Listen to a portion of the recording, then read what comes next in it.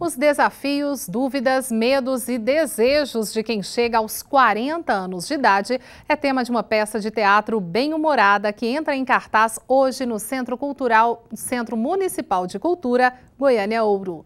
Alex Atanásio acompanhou o ensaio do espetáculo Três Homens Baixos. Hoje à noite, no palco do Cine Ouro, Luciano Caldas, que está comemorando 30 anos de carreira e faz o papel de Samuca, um lojista da Rua 44, aqui em Goiânia, vai contracenar com dois jovens atores, o Pedro Arthur, que dá vida ao Ciro, um homem casado e fiel, e a Bárbara Constantini, interpreta o transgênero Titi, que resolveu transformar o corpo. O texto do carioca Rodrigo Murá retrata o encontro anual dos três amigos. Mas as falas ganharam um tom goianês. Ah, eu não vou tentar convencer você de nada, seu cearense da cabeça chata. Olhe. Muito centrada no universo carioca, no palavreado do carioca.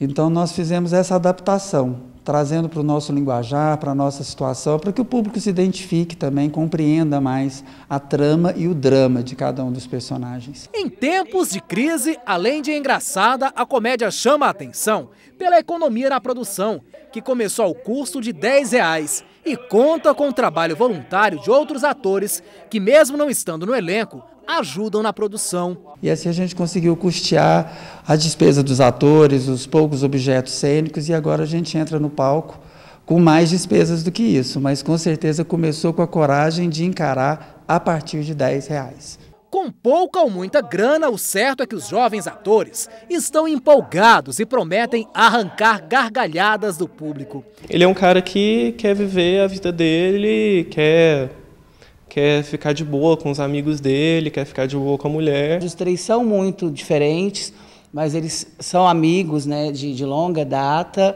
E para mim está sendo muito gostoso, muito divertido fazer o atilho.